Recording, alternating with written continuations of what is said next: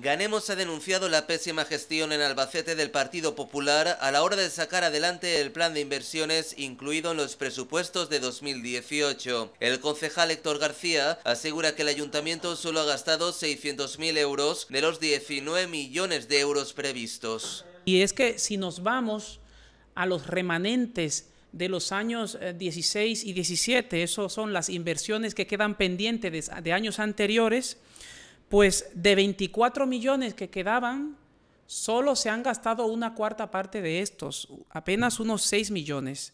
No se sabe nada, dice Héctor García, de la escuela infantil, de la iluminación del Parque de la Pulgosa, de las obras en las pedanías, de las medidas para la eficiencia energética en edificios públicos y de las obras que contemplan los presupuestos participativos.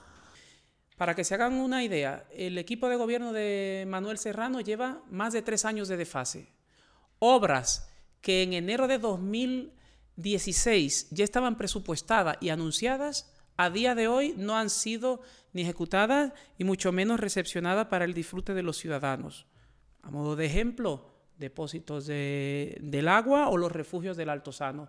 La respuesta del responsable de obras públicas no se ha hecho esperar después de las declaraciones de Héctor García. Julián Garijo ha asegurado que las partidas presupuestarias relacionadas con las inversiones en obras están agotadas o comprometidas a falta de resolución administrativa.